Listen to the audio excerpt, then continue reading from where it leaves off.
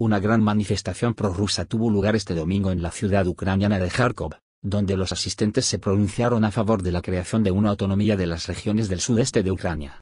Todos somos herederos de las repúblicas de Donetsk y Odessa.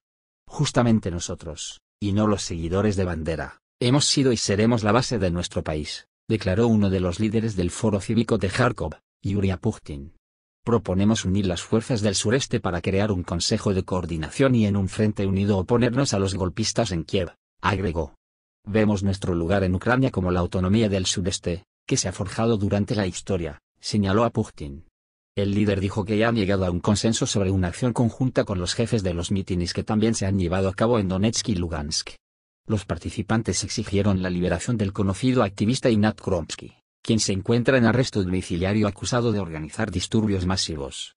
La noche del sábado un grupo de manifestantes también se reunió en Lugansk exigiendo la federalización de Ucrania y expresaron su protesta en contra de la cancelación de los canales rusos.